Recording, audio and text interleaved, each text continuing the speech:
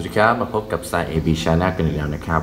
สำหรับวันนี้นะครับนี่คือของเล่นวิทยาศาสตร์นะครับ ก็คือเราเรียกว่า plasma ball เนาะนี่นะครับ หน้าตาเดิมถ้าเราต่อปลั๊กแล้วก็ต่อไฟนะครับ อันนี้นะครับเป็นลูกบอลพลาสมานะครับ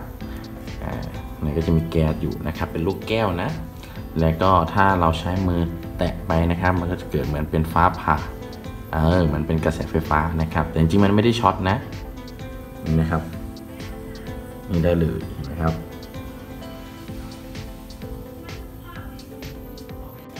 อ่ามันจะถ้าเราเป็นนิ้วเรานะครับ นิ้วมือเราก็จะเป็นตัวนำไฟฟ้าเนาะเพราะฉะนั้นมันก็จะเป็นกระแสที่วิ่งตามนิ้วมือของเรานะครับ อย่างนี้เลยเหมือนฟ้าผ่าเลยนะครับ แต่ว่ามันไม่ได้ช็อตนะอ่าอย่างนี้นะครับ มือเรามันนำไฟฟ้าได้นะครับ สวยงามมาก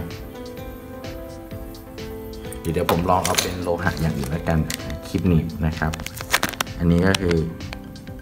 คลิปอ่านีบกระดาษนะครับมันเข็มกัดเห็นไหมครับ มันก็จะวิ่งตาม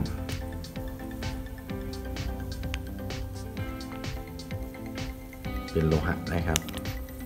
อันนี้มือผมเป็นตัวนำเนาะปึ๊บลักษณะอย่างนี้สวยมากนะครับ นี้เดี๋ยวลองเอาเป็นอย่างอื่นที่ไม่ใช่ตัวนำบ้างนะครับ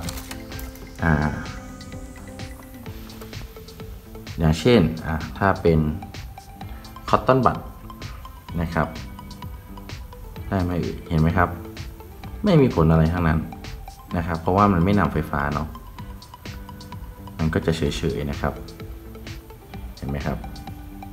แต่ถ้าเราเปลี่ยนเป็นนิ้วมือยปุ๊บตามมือทันทีชุบ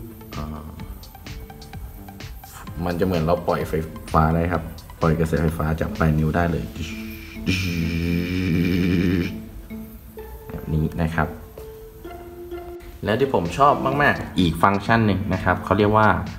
ฟังก์ชันเขาเรียกว่าตอบสนองต่อเสียงนะครับ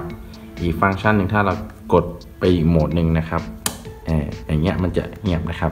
ถ้าสมมติฟังก์ชันเสียงตัวนี้สมมติผมตบโต๊ะเห็นไหมครับ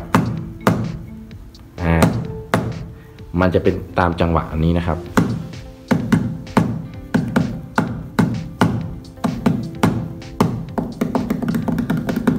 อ่าเห็นไหมครับอ่าตอบสนองได้นะครับอะคราวนี้เดี๋ยวเราลองมาเปิดฟังก์ชันที่มันตอบสนองต่อเสียงและการสั่นดูบ้างนะครับ อย่างนี้นะครับ จะลองเปิดเพลงดูเนาะ